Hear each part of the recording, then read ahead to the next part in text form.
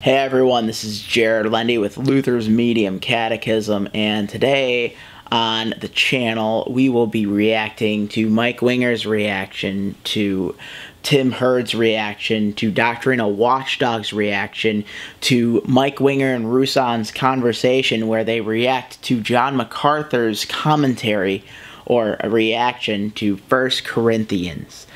And let's get started. Um, I don't know for sure if MacArthur does that in his study Bible. I don't know that. When I nodded my head in agreement with Ruslan as an active listener, you ever do active listening? You're listening to someone, they, talk, and you go, "Huh, yeah, yeah." Does that mean I agree fully with every single thing you've ever said in this in this time? And no, obviously, it doesn't mean that. It, he just, it's just weird.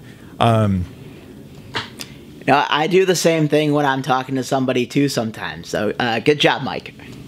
Hi folks, this is Jared Lendy, host of Late Night Snack. If you like that comedy sketch, make sure to check out the full show, where I teach you how to cook through comedy, whether you think it's funny or not. If you like it, make sure to subscribe. Catch you later.